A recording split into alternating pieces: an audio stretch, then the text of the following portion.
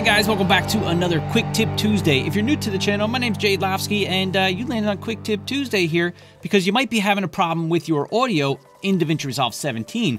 So one of the things that I noticed is that uh, I might open up a project I already had, or sometimes starting a new project, drop in my clip, and there's no audio. I can't hear anything. I know the audio's there, I can see the waveforms, but I can't hear any audio. So let's jump into Resolve, and I'm going to show you how to fix that real quick and easy.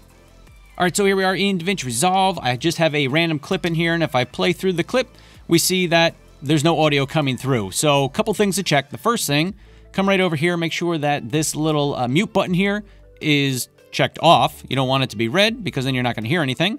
Make sure your volume slider is up. And then this dim button right here, that'll reduce the volume a little bit. So if it just sounds quiet and won't get any louder, go ahead and click on that. Oh, and of course, be sure to make sure your computer volume is up too, and uh, that's going to make sure that you're going to be hearing anything that's coming from Resolve. So what you need to do, the actual problem is over here in the Fairlight tab. So you want to go ahead and open up your mixer. So come on up to the top here, open your mixer, and you want to come down here, and just above your faders, you have bus outputs. So real quick, in DaVinci Resolve 17, they kind of changed how the uh, outputs were, the main outs. It used to be called main out, but now it's called buses, and they just have a bus that's the main out.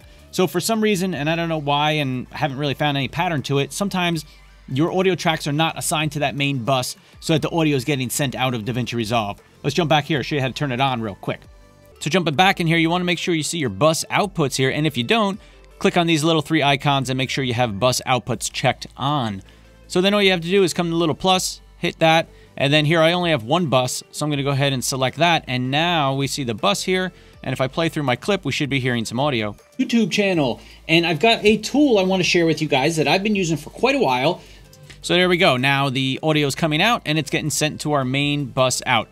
So I also wanted to mention one more reason why you might not be getting any sound, and that is if you created an audio preset, like a track preset, which I'm going to show you that I have here. I created a track preset, and when I apply it to my audio track here, my bus changes because it was set in a earlier version of DaVinci Resolve. That's where I saved the preset.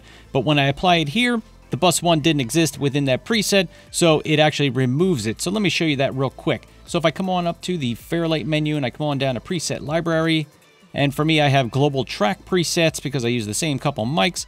And I have this, the Yeti Basement Shop. And I'm going to go ahead and apply that. Now, when I apply that, when I close the window, if we take a look back over here, notice now bus sends, we have nothing. It's not getting sent anywhere. And down here in the bus outputs, it's not getting sent anywhere either.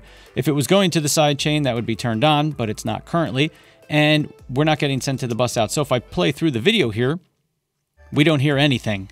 So in order to fix that, again, we want to come and click on the plus and come down to bus one right here. Now we'll be hearing everything right through uh, our outputs here in DaVinci Resolve. Talking about growing your YouTube. So there you go. Make sure that if you have any presets saved and you apply them, especially a global preset, that your bus outputs are actually getting sent to bus number one. So keep that in mind as you start working in DaVinci Resolve 17 here. The main out is what it used to be called in 16 and previous versions, but now it's called Bus 1. And you can change the name of it here, I'm sure, if you want by double clicking on it.